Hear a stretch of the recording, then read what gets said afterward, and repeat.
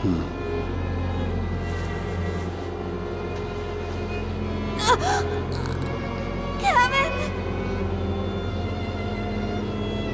Kevin, are you satisfied now? Why act surprised? Everything has occurred as expected, including your act of betrayal. You knew? Of course.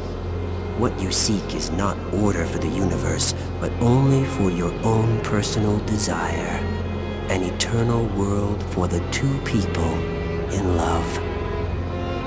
That's right. I have no attachment to this world.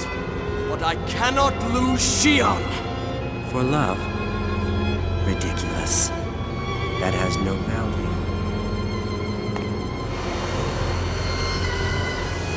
Ah.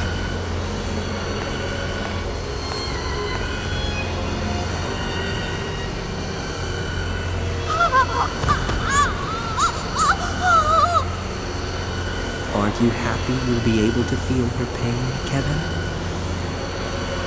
Now, Shion, have you changed your mind?